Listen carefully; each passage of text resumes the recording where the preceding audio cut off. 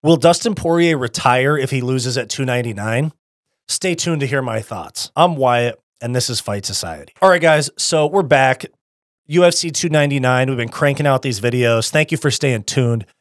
Dustin Poirier versus Benoit Saint Denis.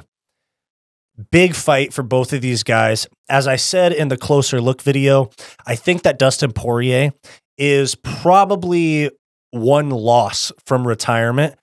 And I think he's in the same position as D- Justin Gaethje, where it's like, get the belt and then retire or lose and retire because both of these guys have talked about they want big fights and this is like the end of the road for them. So going into this fight, I know I know that the UFC offered Dustin Poirier something big in return for taking this matchup because Dustin Poirier literally was saying, I'm waiting for something big. I'm just waiting for something big. And he wanted to get the Nate Diaz fight. And then they announced that he's fighting 11th or 12th ranked French guy that just beat Matt Frevola. So, not to dismiss Benoit Saint Denis, he's a he's a stud, but it's just not the matchup that Dustin Poirier was vying for. So, I think this is this fight is the last fight of Dustin's career with a loss. And or I could see it being that. Now for Benoit Saint Denis, I see this being a huge step up in talent. That's no secret. Matt Frevola to Dustin Poirier, two different worlds of talent. These are two very different fights. And that's the thing with the UFC is there is the UFC just being fight at a UFC fight. And then there is top 15. That's one thing. And then there is top 10. That's a little bit more of a thing, but top five, like Dustin Poirier, the difference between top five and top 15 is a huge jump. And no shade to Matt Frevola, but he's not Dustin Poirier. And that just is what it is. This is a whole different fight than what Benoit Saint Denis just had in November. Dustin Poirier is a dog, and so is Benoit Saint Denis, and they're going to go to war. Now, the thing that I'm concerned about for Dustin is that he just lost via head kick, and Benoit Saint Denis just won via head kick.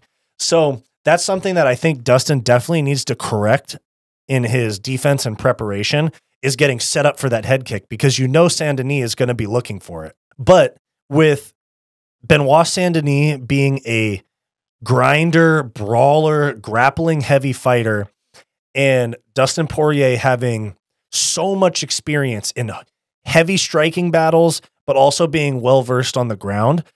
I think that Dustin Poirier has a very, very good chance of having the edge up here. And I think that him basically fighting is for his career in every fight is a huge motivating factor for him and for his legacy. He doesn't want to, I know I'm not saying that this is my opinion about Saint but from a Dustin standpoint, he doesn't want to lose to just some French guy that was just unranked in November and just beat Matt Frevola. Who gives a fuck about that? Like, I think that Dustin Poirier needs this win more than any of his past fights since the Khabib fight. And this is it for Dustin. This is the end of the road. He needs a win here. And if he could win in an extremely impressive fashion, I could see him jumping the UFC 300 little tournament they got going on. Um, because basically you have Saint Denis and Poirier. I don't think Saint Denis gets a title shot with a win, but I think Poirier could. Could. I'm not saying he will. And then you have Oliveira Tsarukyan. That winner could get a title shot. And Holloway versus Gaethje. That winner could get a title shot. So I think that Islam would want to fight somebody he hasn't fought before. So that makes me think it would be Dustin or Gaethje over Oliveira if all of those guys win. But we'll see. From a stake standpoint, I and and from a pride standpoint, Dustin is going to go in there and take this fight very seriously because part of his the end of his career, his legacy could depend on this fight.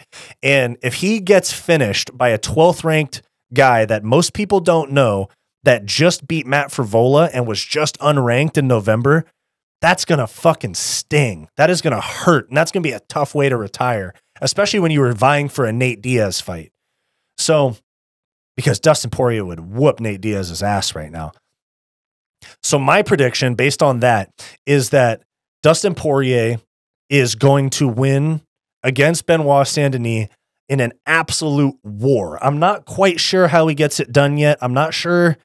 I'm leaning towards a decision. I think this is going to be a real war, but I could also see Dustin with a second or third. Eh, I could see Dustin with a third or fourth round TKO, but we'll see. Dustin hits really hard, and Ben uh, Benoit Saint Denis is going to have that chin tested. So that's my official prediction: is that Dustin Poirier will win against Benoit Saint Denis at UFC 299. Let me know what you guys think. Who wins this fight, and who do you want to see get the next lightweight title shot against Islam Makhachev? If you like this video and you want more content just like this click that subscribe button down below. If you want more content from me, go check out my weekly comedy podcast, the Hissy Fit podcast, and go check out my personal channel, Wyatt's World. Go watch this suggested video, and I'll see you next time.